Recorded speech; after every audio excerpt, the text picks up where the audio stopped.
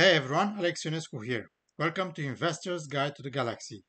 New photos of Neo 1X humanoid robot. Pre-orders start at end of 2023. Top humanoid robots in development right now. Although before we start, if you find this video helpful, it would mean a lot to me if you crashed the like button and subscribe to my channel. It's totally free and takes just a split second. If you want to show more appreciation, consider subscribing to my Patreon. Now, let's dive right into it. 1X changed their website recently and added new photos of their new humanoid robot, Neo. And they also added some new details about it.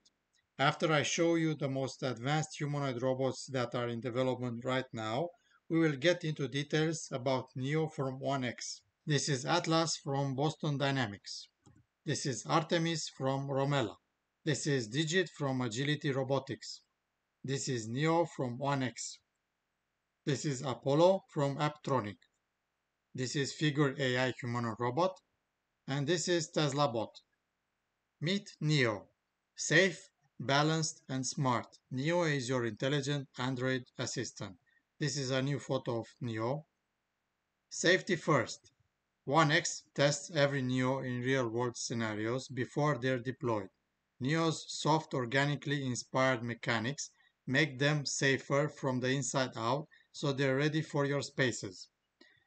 Balanced performance. Neo moves like us so they can meet your needs. 1X engineers Neo for high precision and gentle strength with arms and legs modeled after human muscle movement so they can walk through your doors, climb your stairs, and do everything in a more natural and intuitive way. Smart behavior. Neo embodies artificial intelligence. 1X combines thoughtfully designed bodies with advanced AI minds so you can talk to them naturally and they can do what you ask. Embodied artificial intelligence. 1X is advancing the fields of robotics and artificial intelligence by combining them in an unprecedented way. General purpose androids inspired by human nature. As they move, they get smarter, becoming as strong, gentle, and capable as we are. Simply by working alongside you, 1X's androids will learn to adapt to universal applications. You lead, Neo learns. Neo could help you in your space. About the control, VR teleoperated synchronized mode, safety first design, learns from tasks completed in VR teleop, autonomous behavior, AI navigation, from 2 hours to 4 hours runtime, electric system, weighing 30 kilograms. Mobility, walking speed of 4 kilometers per hour, running speed of 12 kilometers per hour, and 20 kilograms carry capacity. What is NEO? Our Android model NEO is an innovative bipedal type of humanoid robot. That means they are designed to look and move like a human. NEO has a head, torso, arms, and legs, just like us, so they can interact with the world in a way that feels familiar to us. They'll walk, grab things, and communicate through facial expressions. What can Neo do? Neo is an android with a wide range of capabilities. They excel in industrial tasks in sectors like security, logistics, manufacturing, operating machinery, and handling complex tasks. Long term, we envision Neo providing valuable home assistance and performing chores like cleaning or organizing. 1X is also looking into how NEO can offer support to individuals with mobility challenges, fetching items and providing companionship. NEO's potential also extends to research, helping the robotics community to explore fields like psychology and artificial intelligence. With NEO's continuous evolution, the possibilities for assistance, productivity, and learning are boundless. Why is NEO modeled after a human? Humanoid robots are made to look like humans for different reasons. Firstly, humans are flexible and can move around in all sorts of ways. By copying our shape and movements, 1X's androids can do complex tasks and get around easily. Secondly, we are really good at understanding each other without words, like using expressions and gestures. When robots look like us, they can use these familiar ways to talk and work with humans. Lastly, since everything in our world is made for humans, it's easier to have robots that fit into our world without changing too much. So by being designed like us, humanoid robots can climb our stairs, open our doors, and be helpful everywhere we need them. How does NEO use artificial intelligence? Using embodied artificial intelligence, NEO will understand its environment deeper thanks to the fusion of their AI senses and their physical body. NEO continuously learns and improves, becoming smarter and more capable over time. The more you interact with them, navigating life with NEO will feel natural and intuitive. NEO will understand their own environment and how to handle fragile items, creating seamless collaborations and immersive human-robot interaction.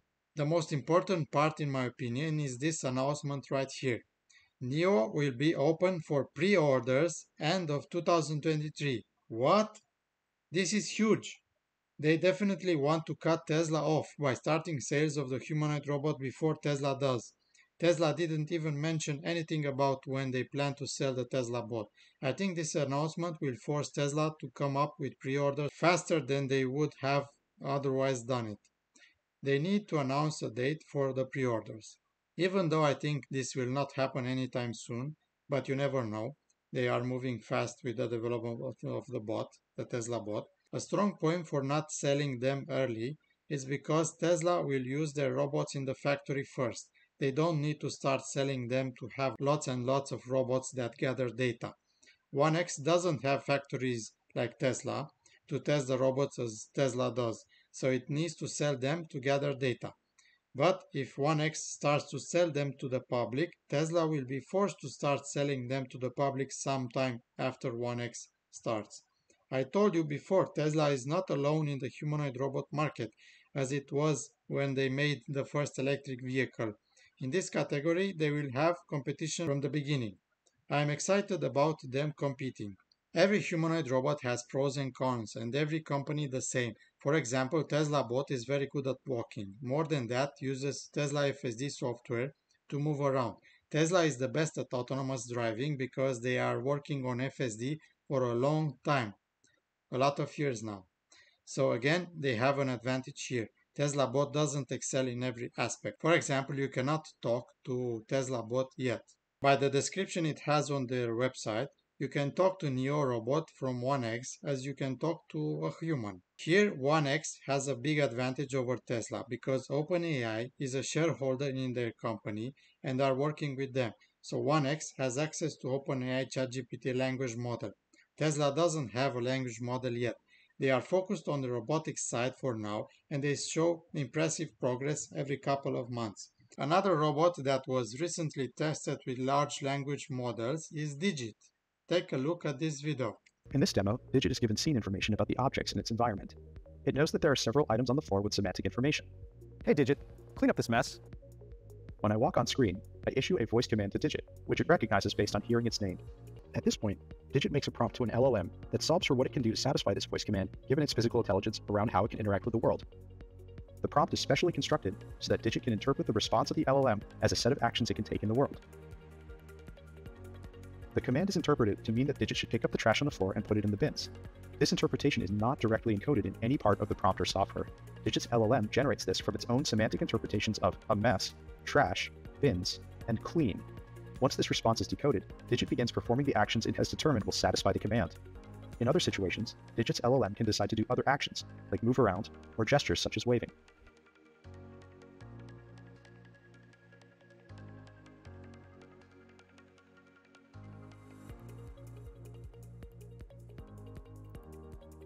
The entire demo shown here, from concept to execution, was completed within two weeks using an unmodified Digit platform.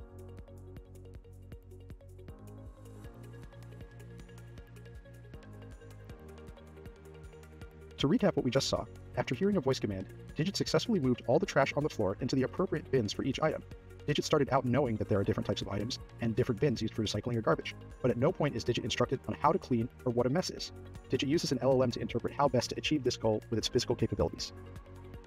When I look at NEO, I can say that they are working similarly as Tesla. I mean fast-paced iterations. Why I say that? Because they don't care what the parts look like inside the robots, because they mask it with these gray, black and white clothes. It's smart. With these clothes, the robot looks good for the public and they don't need to waste time improving the looks of the robot inside. It just needs to work, do its job, not be good looking inside. One thing comes to mind. It's better to have clothes, but think of it like this. When they change the robotics, when they change some parts inside of the robot, they just put the clothes on again, and that's it. If they made the robot with plastic on the outside, every time they change anything inside, new iteration of the robot comes up, they have to design again the outer plastic cage. Waste of time.